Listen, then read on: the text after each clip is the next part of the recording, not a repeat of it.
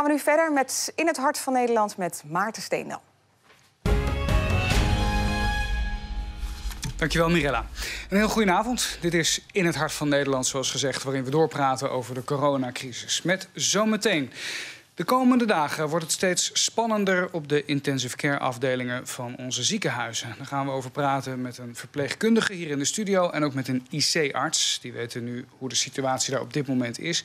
En een coronapatiënt vertelt dat zij niet naar het ziekenhuis kon. Er was gewoon geen plek voor haar. Verder gaat het vanavond over de economie die onder vuur ligt. Met omzetdalingen tot soms wel 100 procent. Maar wij Nederlanders zijn een creatief volkje. Oplossingen worden gezocht en ook gevonden posten dingen op Instagram. Uh, Claire maakt dan setjes en dan fotograferen we en dan doen we de prijzen erbij, welk merk het is. Zo proberen we te doen. Dat zometeen. En hier aan de desk bespreken we hoe ondernemers met dit soort crisis omgaan. Maar er is ook een branche die het juist heel goed doet op dit moment. De game-industrie is dat. Een professioneel e-sporter vertelt hoeveel groter het gamen de laatste weken is geworden. En we gaan ook kijken naar Max Verstappen, die maar blijft winnen. Alleen doet hij dat nu online. We're going to do one fast lap around the track.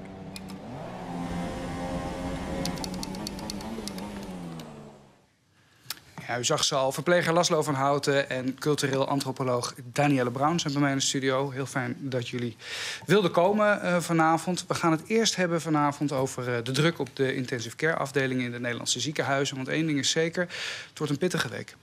Deze week wordt echt spannend. Uh, als we daadwerkelijk aanstaande zondag al die 1600 bedden uh, bezet hebben... en we hebben nog meer IC-plekken nodig... en je moet daardoor nog meer uh, beademingsapparaten hebben... Ja, dan wordt het race tegen de klok of die er zijn, ja of nee. Of het vliegtuig op tijd landt, want zo spannend wordt het dan. We kijken eigenlijk nu van dag tot dag hoe die cijfers zich ontwikkelen... om te kijken of we aan, aan twee kanten moeten, aan de schroefjes moeten draaien... Uh, daar kan ik geen voorspelling over doen. Wil ik ook niet. Ik wil me echt baseren op de cijfers die we elke dag krijgen. De druk op de intensive care afdelingen gaat de komende week naar verwachting exploderen. Laten we nog even kijken naar de laatste cijfers.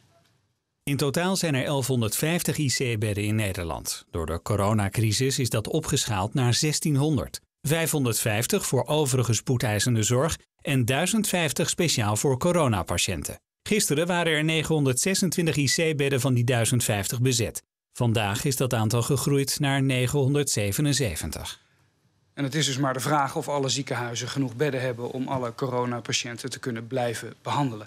We schakelen nu live naar Servet Duran. Hij is eh, IC-arts in het Wilhelmina ziekenhuis in Assen, een streekziekenhuis. Goed u eh, te zien, meneer Duran. Fijn dat u even tijd heeft.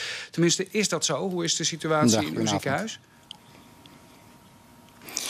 Ja, eh, de situatie eh, op dit moment eh, is onder controle. Dat komt ook met name omdat de eerste coronapatiënten natuurlijk in Brabant zich hebben ingeleid. En vanuit daar langzaamaan naar het noorden is gaan optrekken. En wij hebben dus in het noorden ook tijd gehad om de boel goed te kunnen coördineren. Waarbij ons coördinatiepunt ligt bij het UMCG in Groningen. En die stemt het af met de landelijke coördinatiepunt. Dus wat dat betreft uh, uh, zijn de voorbereidingen hier in het noorden, uh, noordelijke provincies dus ja, goed getroffen. Ja, en kunt u iets zeggen over hoe het voor u is om op dit moment daar aan het werk te zijn? Want dat lijkt me heel onwerkelijk. Ja, het is ook een onwerkelijke situatie op dit moment. daar heeft u helemaal gelijk in. ja, we zagen dit soort beelden vroeger in science fiction films. En uh, ja, op dit moment is het dus uh, uh, ja, de realiteit, helaas, wat we op dit moment meemaken. Ja, en wanneer denkt u dat de situatie echt kritiek wordt? Hè? Zoals in Italië, de, de, de verhalen dat er gekozen moet worden tussen patiënten. Hoe ver weg zijn we daarvan volgens u? Nou ja, momenteel uh, zitten we al uh, tegen uh, duizend opnames aan landelijk op de intensive cares. En zoals andere collega's intensive care artsen het al hebben aangekondigd en ook onze voorzitter van de NVC. Het gaat een race tegen de klok worden. En uh, uh, ja, iedereen doet zijn best, zowel personeel, verpleegkundigen, artsen, raden van besturen, et cetera. Maar de vraag is uh, uh, of we de tijd gaan hebben uh, om alles strak geregeld te kunnen hebben om het getal van 1600 ook binnen te kunnen halen. Ja, en wat, uh, wat doet u daaraan op dit moment om te zorgen dat u zo goed mogelijk beslagen ten ijs komt? Ja, nou, er vindt uh, dagelijks uh, overleg plaats regionaal. En dan heb ik het over Drenthe, Friesland en Groningen. We houden ons continu up-to-date binnen de noordelijke provincies. Verder vindt er binnen het ziekenhuis ook dagelijks onder toezicht van de Raad van Bestuur overleg plaats. Waarbij continu geschakeld wordt. En wij zijn al geruime tijd bezig om op te schalen. En de opschaling gaat gewoon verder. maar je bent uiteraard afhankelijk van personeel, apparatuur, maar ook medicatie. Wat nodig is voor al die mensen om in slaap te houden. Meneer uh, Servet Duran, IC-arts in het Wilhelmina ziekenhuis in Assen. Dank voor uw tijd en heel veel succes de komende periode. Ja, mensen die in de zorg werken, eh, dat waren altijd al grote helden, maar zijn dat natuurlijk nu helemaal. Hè? Dit is misschien wel de meest hectische periode uit hun leven. En komende week, we hoorden het, wordt het waarschijnlijk alleen nog maar hectischer. Bij mij aan tafel ook een uh, verpleegkundige, Laslo van Houten. Welkom. Dankjewel. Jij komt eigenlijk rechtstreeks van je werk in het uh, Radboud UMC in Nijmegen. Mm -hmm. hoe, uh, hoe gaat het met jou? Wat voor dagen heb jij gedraaid de afgelopen tijd? Nou, het is bizar. Normaal gesproken werk ik maar drie dagen in de week. En daarnaast studeer ik nog een, een functie, een, de HBO-verpleegkunde daarnaast. Um, uh, ik heb gisteravond een avonddienst gehad. En vandaag had ik een dagdienst. En daarbij is de klok ook nog een uur vooruit gegaan. Dus het was een kort nachtje. Ja. Dus, dus dat hakte wel in. En ik ben gelukkig nu wel een paar dagen vrij. Dus ik kan er ja. even bij komen. Even opladen, ook ja. heel belangrijk natuurlijk. Ja. Um, hoe is de situatie in het, in het Radboud? Hoeveel mensen met corona liggen op jullie intensive care? Nou, ik werk niet op de intensive care, ik zit op de verpleegafdeling. Um, daar hebben wij ruimte voor 33 bedden en die zijn toch wel, wel, wel gevuld. Um, binnen het huis hebben we gelukkig de, de, mogelijkheid nog om op te schalen. Dus, dus, dus daar wordt ieder moment van de dag in ieder geval naar gekeken. En dat laten we aan de specialist eigenlijk over ja. om dat in te schatten. Want wij zijn best wel druk op de afdeling om de patiënten te verplegen eigenlijk. Ja, zeker. En uh, toen jij voor het eerst zoiets hoorde als een coronavirus ja. ergens in China, wat, wat, dacht je toen? Weet je dat nog? Ja, ik was er best wel laconiek over. Want ik dacht bij mezelf, nou, misschien een longontsteking, een griep erbij, heel vervelend. Maar dat, uh, daar, daar, dat, ja, dat is normaal. Hè? Dat hebben wij vaker hier uh, binnen Nederland. Um, tot ik vorige week zaterdag eigenlijk echt op de afdeling, dat de afdeling echt draaiende was. En dat ik daar aankwam. En dat ik de patiënten zag liggen. Dat was, uh, toen kwam het bij mij even binnen. Daar heb ik ook echt even uh, een paar minuten uh, ademloos staan kijken over hoe alles in zijn werk ging. Ja, en dat is dus nog niet eens op de intensive care? Nee, nee dat is nog, nog niet op de intensive ja. care. Um, bij ons zijn de patiënten ook best ziek. En, maar gelukkig zijn ze dan nog niet intensive care behoeftig. Um, Want wat moet ik daarbij voorstellen? We horen steeds de verhalen over ja. hoesten en benauwdheid. Ja, benauwdheid, klachten, hoesten, hoge koorts. En normaal gesproken, wij verpleegkundigen, wij, wij, wij, maken, wij willen mensen beter maken. Hè, met het hele team, met de artsen erbij. Wij maken mensen beter en, en dat proberen wij. En dat kan nu niet. Nee. Want, want antibiotica werkt niet. Uh, uh, andere houdingen, zuurst... Nee, niet, nog niet. Hè. Daar zijn ze dus druk mee bezig. Um, andere houdingen, normaal gesproken, om mensen wat, wat de benauwdheidsklachten af te laten nemen, zuurstoftoedieningen, dat werkt eigenlijk allemaal niet echt dusdanig wat wij wensen. Um, waardoor wij dus eigenlijk ook met de rug tegen de muur staan. Uh, en dat is, dat, voor ons is dat echt, ja, dat, dat past niet bij ons. Dat, dat, dat, dat, dat willen wij niet. Nee. En dat maakt het voor ons ook echt wel, wel lastig en emotioneel zwaar. En daarnaast zitten wij ook in pak. Hè, dus, dus dat maakt het fysiek ook nog eens zwaar. Um, dus, dus al met al is het, uh, is het een heftige periode voor ons. En hoe zet jij dat dan van je af als je thuis komt? Um, nou ja, gelukkig na de dienst hebben we altijd een, een overleg. En daar zit altijd de, de, de, de dagcoördinator zit erbij. Dus we gaan ventileren met z'n allen over. Hè. Wat vinden we ervan? Wat is er vandaag gebeurd? Zijn de bijzonderheden? Waar kunnen we van leren? Wat kunnen we de volgende keer meepakken? Um, en dat soort dingen. Uh, en thuis heb ik mijn familie gelukkig omheen. En, uh, en mede-collega's die, waar ik privé ook contact mee heb. Waar ik uh, mee, mee kan... Mijn ei kan kwijt, zeg maar. Ja. Zeg maar. Ja, ja. ja en hoe kijk jij aan tegen ja, de, de, de piek, de periode die, die nu nog moet komen? Ja, weet je, het, wij hebben maar capaciteit voor een aantal bedden. Um, daar zitten wij toch, uh, daar, zijn we best wel, uh, best wel druk mee. Um, dus eigenlijk, ja, ik denk niet vooruit. Ik denk op het moment waar we dan staan, daar uh, kijken we over hoe het gaat. En, en komen de patiënten bij, komen de patiënten bij. En gaan de patiënten weg, dan gaan ze weg. En net zoals vandaag voor het eerst sinds deze week een patiënt naar huis mogen sturen, omdat die klachtvrij was. Um, oude echtpaar mogen, mogen herenigen met, met elkaar.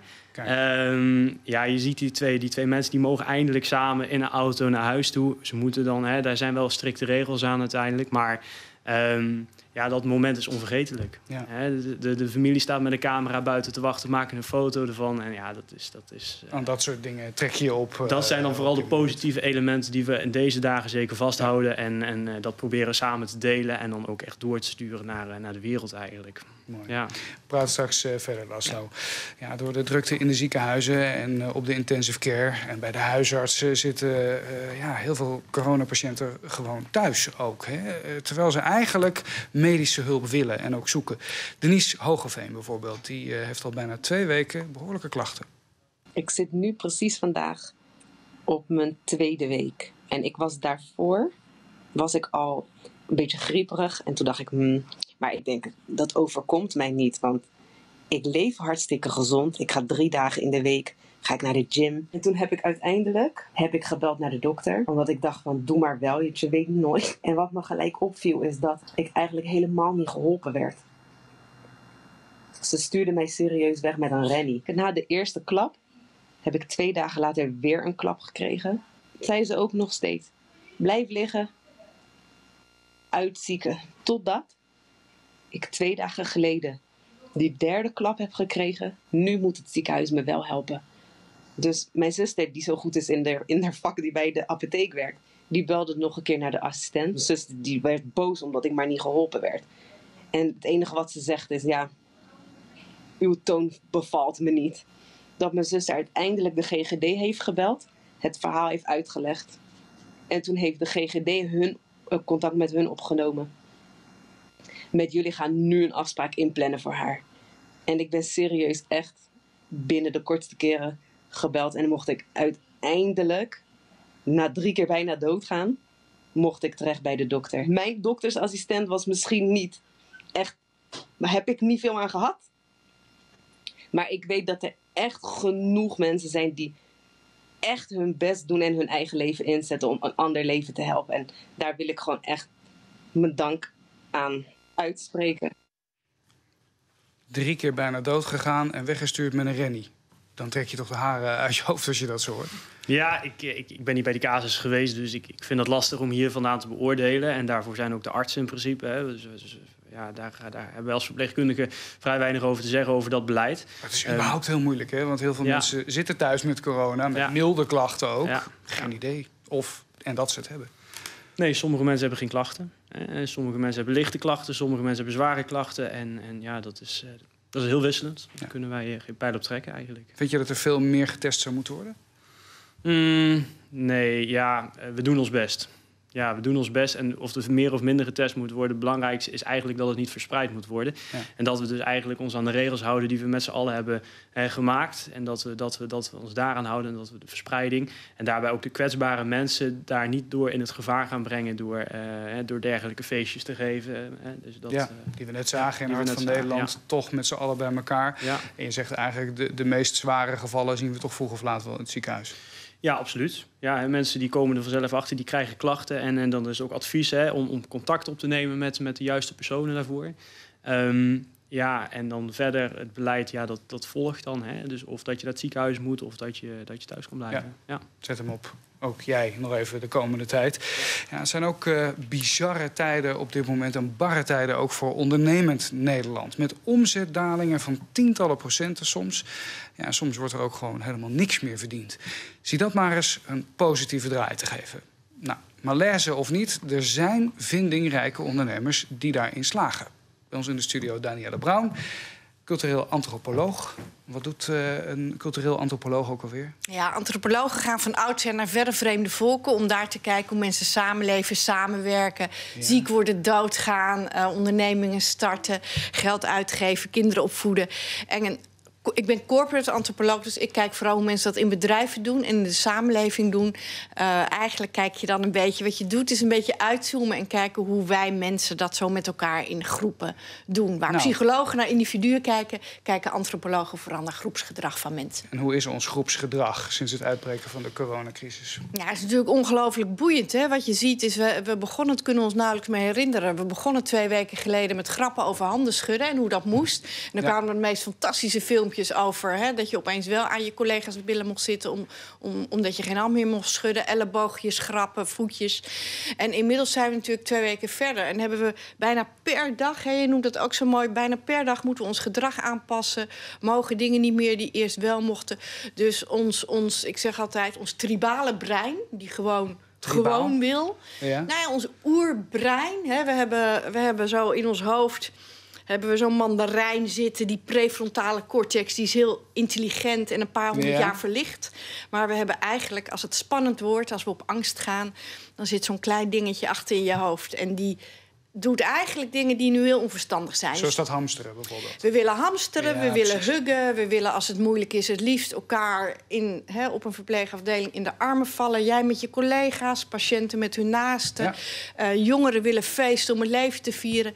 Dus dat is eigenlijk ons normale tribale gedrag. Tribaal zit ook stam in, hè? tribal. Stammen, ja, wie we in wezen zijn. En dat moet nu allemaal anders. En we zijn dus ontzettend hard aan het leren om dat, eh, om dat anders te doen. Nou ben je corporate. Het gaat ook over de ondernemers. Ja. Ehm, hoe vind je dat de ondernemers zich over het algemeen opstellen tijdens deze crisis? Wat valt jou op? Nou, dat, dat, je, je ziet een beetje twee stromingen. Hè. Wat je eigenlijk ziet, is wat interessant is... is dat eh, beroepen in de zorg, politie, onderwijs... waren natuurlijk altijd een beetje ondergewaardeerd.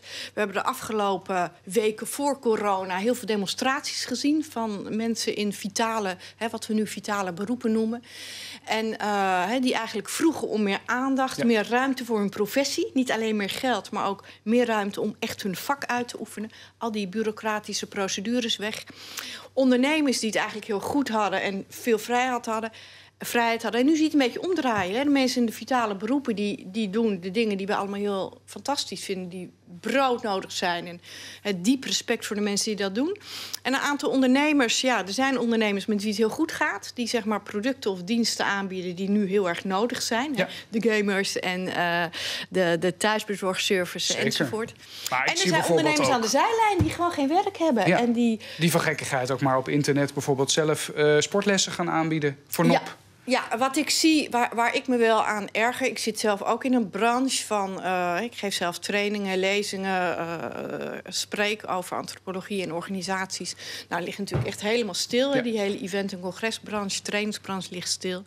En wat ik veel zie, is mensen om me heen... die dan allerlei gratis diensten en producten gaan aanbieden. Je kunt het zo gek niet bedenken. Eh coaching sessies, teamsessies, muzici die gratis gaan spelen. Nederland is heel lief hè, op dit moment. Heel lief. Ja. En op zich is het prachtig. En ik snap dat er een soort, hè, eh, een soort nou, bijna oorlogssituatie ontstaat... van mensen die jullie en elkaar willen steunen... en met z'n allen de schouders eronder. En tegelijkertijd vind ik het heel onverstandig. Want wat je eigenlijk doet... Hè, we hebben nu die medische crisis. We krijgen straks een economische crisis... die ook weer heel veel armoede en doden... zeker buiten Nederland tot gevolg kan hebben. Ja. En ik denk als ondernemers zichzelf niet serieus nemen... en nu heel veel gratis gaan aanbieden... en een soort van het hele marktmechanisme om zeep gaan helpen... ik denk dat het echt heel onverstandig Dat is. is natuurlijk heel lastig, want je kan ook niet gewoon geld blijven vragen. En je kan ook niet muisstil in een hoekje gaan kruipen. Nee, dus, dus ik denk... Dus hoe dan? Ja, voor mij zijn er een beetje twee, twee kanten. Eh, en kijken of je je producten, dienstenpakket kunt aanpassen. Kan je mondkapjes en beademingsapparatuur gaan maken? Eh, voor mij geldt bijvoorbeeld dat ik nu al mijn werk online doe. Online trainingen en lezingen geef. Ehm, dat is natuurlijk minder dan het was. Dus waar het niet kan... Ja, ook, dat klinkt hard, maar toughen up. Ondernemerschap, ga investeren in de toekomst. Ga je restaurant schilderen. Eh, ga zorgen dat je een boek schrijft, nieuwe diensten, producten Ja. ontwikkelt. En, en zorg dat je straks weer klaar staat om die mensen die zoals jij nu keihard werken in de zorg om die straks weer te stutten, op te vangen, weer mooie muziek en kunst te produceren. Want dat gaan jullie straks, als je helemaal doodmoe bent, zo hard nodig hebben. Dus, dus laat die ondernemers ook nu even een stapje terugstappen, zodat anderen vooruit kunnen stappen. En natuurlijk is het vreselijk schrijnend als je 100% inkomstenverlies hebt. En goed dat daar regelingen Ja. voor zijn. Denk je dat er iets overblijft uit deze periode? Wat, wat, we, wat we met z'n allen leren en dan straks ook als die ellende voorbij is... nou, implementeren in de samenleving? Ik denk dat ze twee dingen leren, of ik hoop dat ze twee dingen leren. En misschien wel wat meer. Uh, nou, drie. Ik denk dat we in ieder geval leren, uh, en dat vind ik mooi om te zien in de zorg, dat een heleboel procedures en bureaucratie en geneuzel en paarse krokodillen ellende waar we op scholden, dat we die opzij kunnen zetten als het echt nodig is. Sneller? Sneller, beter. Weer echt professionals aanzet. Artsen, verpleegkundigen. Samenwerken, ja. heel goed in teams werken. Ja. Dus ik, ik, hè, ik hoop dat het minder hectisch wordt dan het nu is. Maar dat we dat weer een beetje kunnen vasthouden.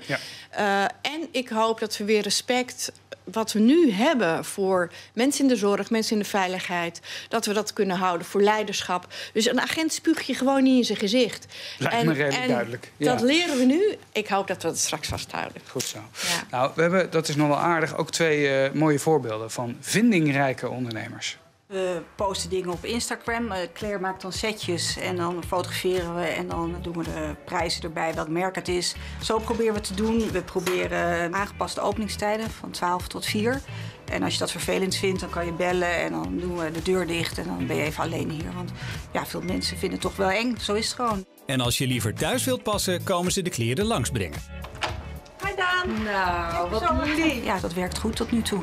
Bij een speciaal bierwinkel in Venray is de fysieke winkel sinds deze week gesloten. Maar dat geeft niet, want er wordt ontzettend veel online besteld. Waar andere ondernemers ten onder gaan aan het virus, zien zij de winst toenemen. Wij hebben nou echt een, een, een gigantische piek in bestellingen. Dat is echt, uh, echt ongelooflijk. Ik denk dat ik wel kan zeggen dat dat vijf, zes, misschien wel zeven keer zoveel is als normaal. Franks klanten komen het bier nu ophalen of het wordt verstuurd per post. En als je in de buurt woont, komt hij het langsbrengen.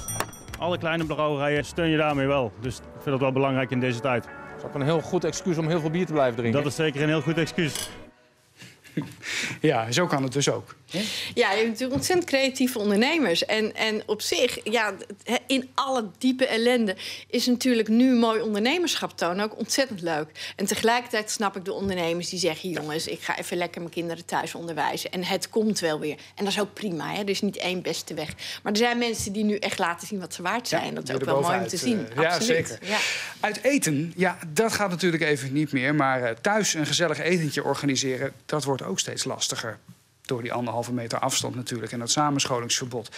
Toch kunnen sommige kookclubs gewoon doorgaan. Want uh, ja, in dit digitale tijdperk is er voor elk probleem wel een uitgekookte oplossing.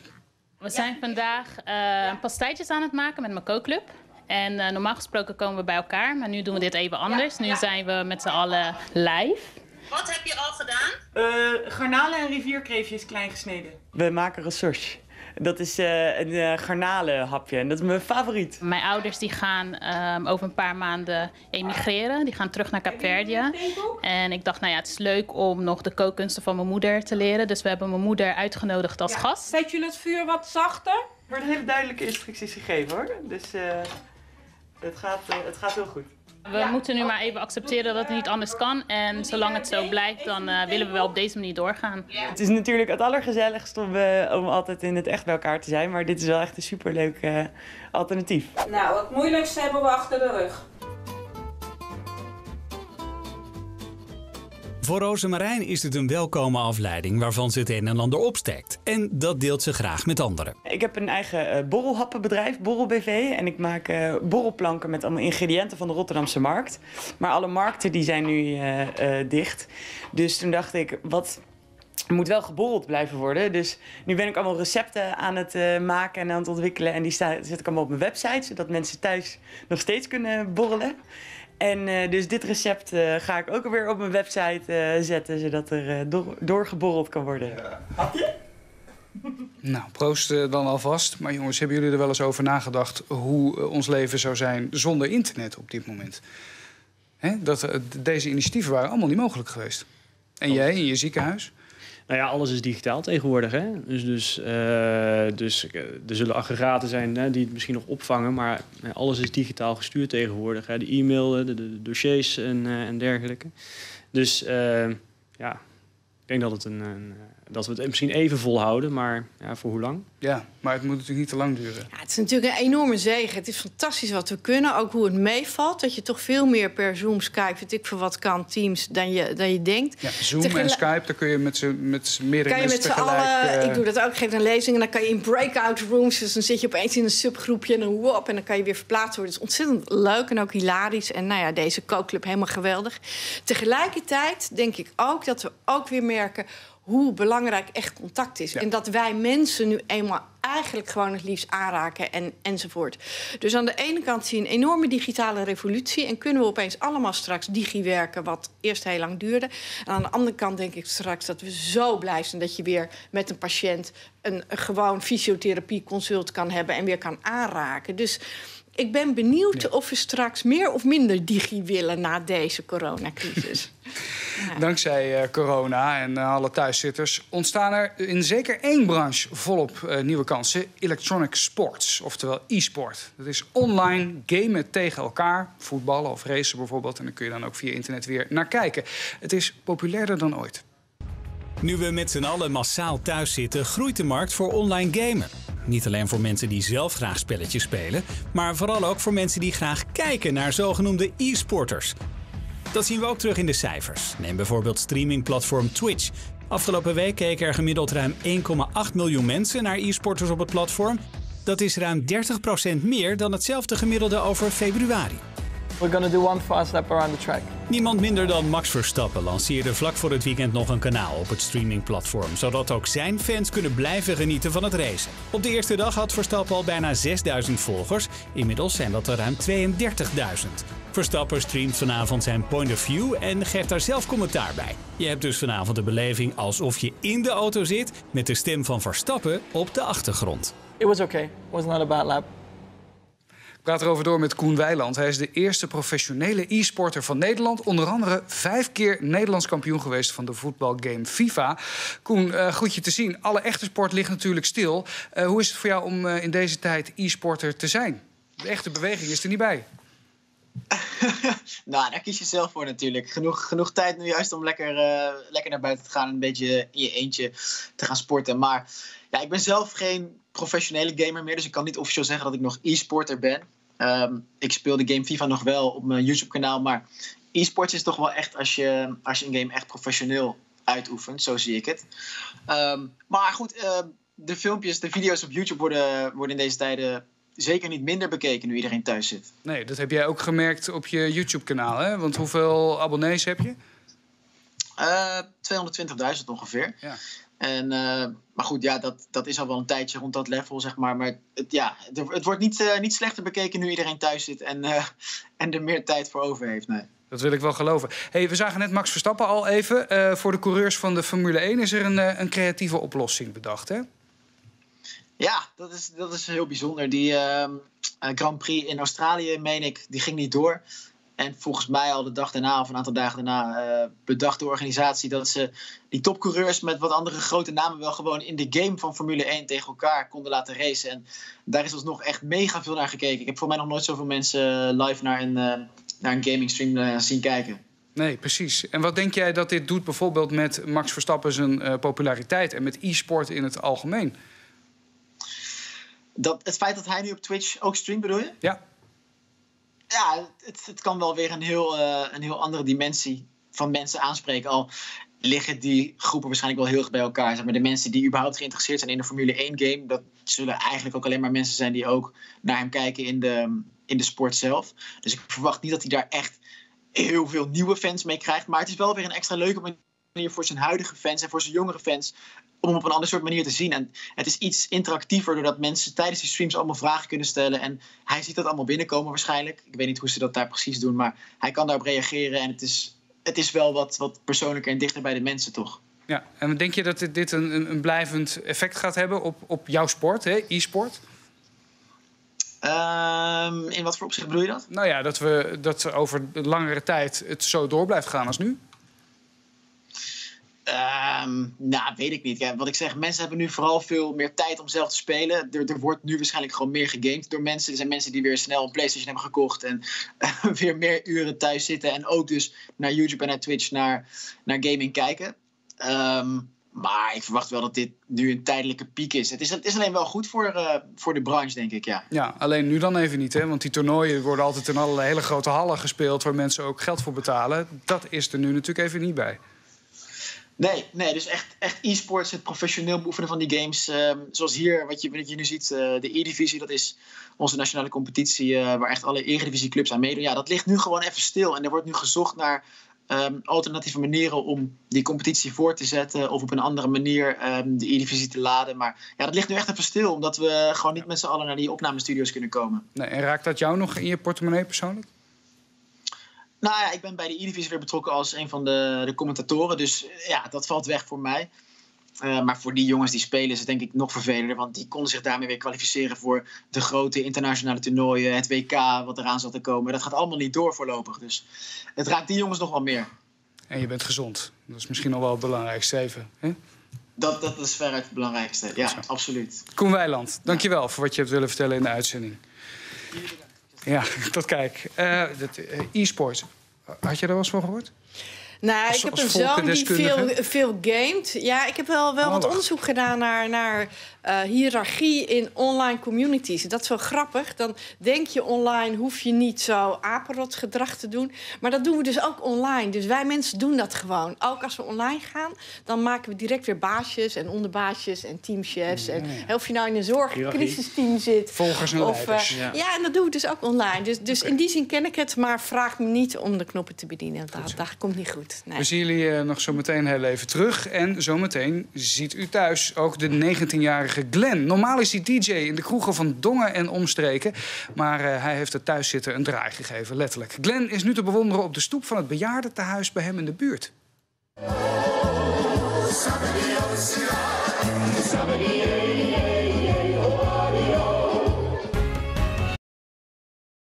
Urk, morgen om half tien bij SBS 6. Welkom terug. Ik had u beloofd, de 19-jarige Glenn is DJ. En normaal gesproken draait hij ieder weekend in kroegen... in het Brabantse Dongen en in omstreken. Maar eh, nu even niet, want onze boekingen zijn natuurlijk afgezegd. Duimen draaien is er niet bij bij Glenn. Hij verzorgt nu optredens op de stoep van een bejaardentehuis bij hem in de buurt. Het leek mij een leuk idee om voor de ouderen in het eh, verzorgingshuis eh, De Volkaart in Dongen... om daar nummertjes te gaan draaien. Nederlandse hits van toen en van nu. Omdat ze nu allemaal in eenzaam, eh, ja, eenzaam binnen zitten. En eh, leek het mij wel leuk om ze op te vrolijken. Super. Dat je daar op die leeftijd ook zo mee bezig bent. Voor de oudjes, ja, die zitten op het moment zo alleen, zo zielig. En muziek is altijd gezellig. Na het inladen van alle DJ-spullen gaat Glenn richting het verzorgingshuis. Daar aangekomen moet hij eerst nog even zijn set in elkaar zetten. Onder toeziend oog van nieuwsgierige bewoners. Het is even wel werk, maar eh komt allemaal goed hoor. Ik heb er super veel zin in.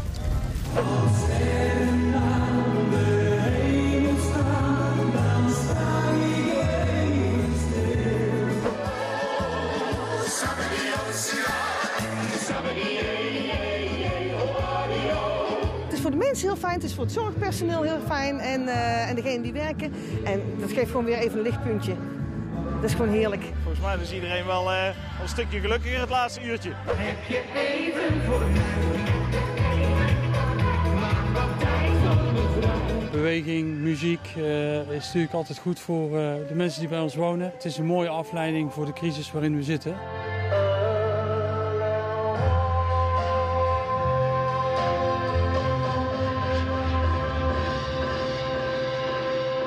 Wel mooi om te zien dat, eh, dat iedereen voor het raam stond te kijken en mee stond te zingen. Dus heb ik die mensen hopelijk een eh, fijne middag bezorgd. Ik denk het wel, eh, Glenn. En mooi ook die Polonaise, hè? Keurig anderhalve meter. Keurig anderhalve meter. Cultureel antropoloog eh, Danielle Brown. Dit is natuurlijk wel een beetje eh, verslavend, hè? Ook dit soort mooie acties. Ja. Hoe lang blijven we die nog zien in Nederland? Nou, het is, het is natuurlijk fantastisch om te zien. En wat je, wat je ziet, hè, mensen hebben altijd behoefte aan rituelen. Mensen zijn zingevende wezens. En zeker als er iets spannends gebeurt, hè, we hangen nu in een soort ondertussen. We weten echt niet waar we heen moeten. Alles is nieuw en onbekend. En wat ons menselijk brein dan doet, is rituelen te maken. En dat zijn een soort vluchtheuveltjes bij verandering. En onze oude rituelen kunnen niet. We kunnen geen kerkdiensten doen, we kunnen geen grote begrafenissen doen, geen eindexamenfeestjes, geen popconcerten, festivals. Dus we verzinnen nieuwe dingen. En nou ja, dit is natuurlijk een fantastisch voordeel van Glenn. Glenn vraagt wel geld ooit als je dit professioneel gaat doen. het onderwerp van net. En, ehm, en, en wat, we natuurlijk, wat ook een ritueel is, is elkaar al die vreselijke harde grapjes toesturen. En elkaar groeten op straat, app, via de app. Al die, die, boog. hysterische gimmicks en, en wc-papierrollen. En dat is goed, want dat zorgt dat we toch met elkaar in verbinding kunnen blijven... ondanks dat we elkaar niet gewoon kunnen vasthouden en huggen en zoenen. Dus dat, Ja. zo doen we dat. En dat houdt ons mentaal gezond en dat is belangrijk. En over mooie acties eh, gesproken. Laszlo van Houten, verpleger in het eh, Radboud UMC. Jij wilde nog wat kwijt over een actie eh, die eh, nou ja, bij jullie ook aan de gang is, hè? Nou ja, spontane actie van, eh, van een van onze stagiaires. Die, eh, die had in de omgeving eh, een oproep gedaan om, eh, om eh, kaartjes te schrijven eh, voor de patiënten die op onze afdeling liggen. Ehm, dus van de week kwam er een, eh, een hele grote tas vol met eh, allemaal kaartjes en tekeningen echt van, van, van kinderen van een jaar of drie die al getekend en gekrast hebben. Eh, die kwam de afdeling op eh, en die hebben wij gewoon random aan, aan, aan, aan, mede, aan medewerkers, sommigen gericht, maar ook vooral aan de patiënten eh, gegeven. En ehm eh, hadden een patiënt die lag, die lag ap- apart op één kamer geïsoleerd. En eh, nou ja, ik kom met dat kaartje binnen en ik vertel dat verhaal. Nou ja, ze, ze begon eigenlijk spontaan te huilen en, en gewoon enthousiast van... hé, hey, er is toch iets positiefs in deze negativiteit. En toen zei ik ook wel van, nou, nu moeten we ook echt stoppen... want ik, krijg, ik hou het ook niet droog. Nou ja, dat was het ook uiteindelijk geval. Dus, dus we hebben daar met z'n tweeën met eh, vochtige ogen gezeten. Dus dat is ook een oproep eigenlijk naar iedereen. Ondanks dat je dus thuis zit nu, hè. eh, je kinderen zitten thuis, maak kaartjes, eh, eh, maak lieve brieven...